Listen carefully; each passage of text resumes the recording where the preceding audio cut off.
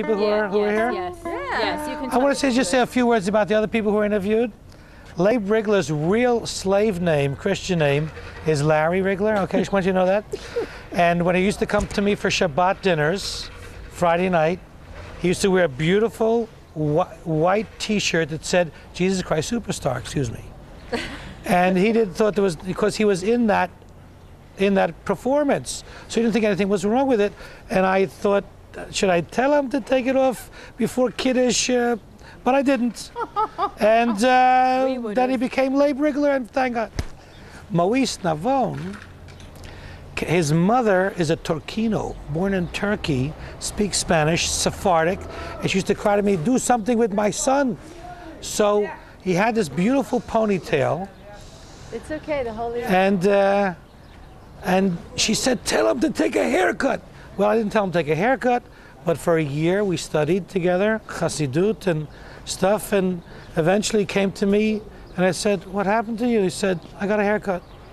But the point is that he became a religious, I mean, observant, and and he married Dina, who I was instrumental in saying, "Yes, do it." And he did it, and they have children, and I'm waiting for the email of the pictures of the children. So I'm happy about no Moise. Should I talk about Jamie Ora?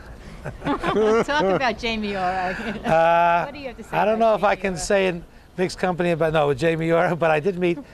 It was Jamie. It, her slave name was Jamie. I know everybody's you know given Christian name, and uh, she used to hold my little darling daughter, our only redheaded girl, and uh, in her arms. And Ora and my daughter Ora and Jamie connected very strongly, and then Jamie was christened Ora, sort of. And Jamie got uh, married and had to take her Hebrew that's, name. That's right. That's right.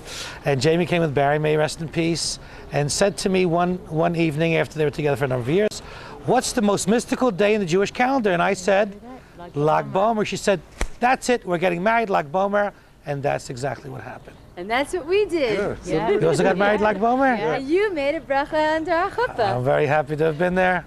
anyway, you could say lots of things about these great people, but that was in a past life, and now they're on a fast track to a black hat, they're already wearing it, and uh, I'm very happy. Hi, lie, lie, lie, lie, lie, lie, lie,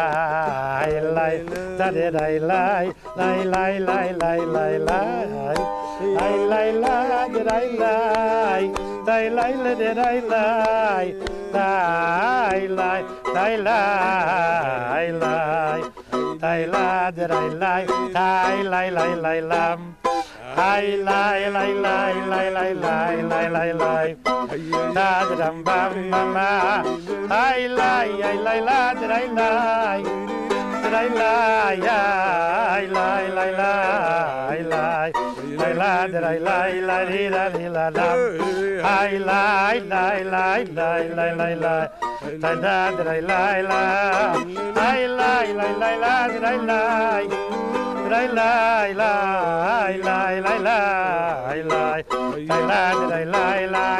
lai lam lai lai lai lai lai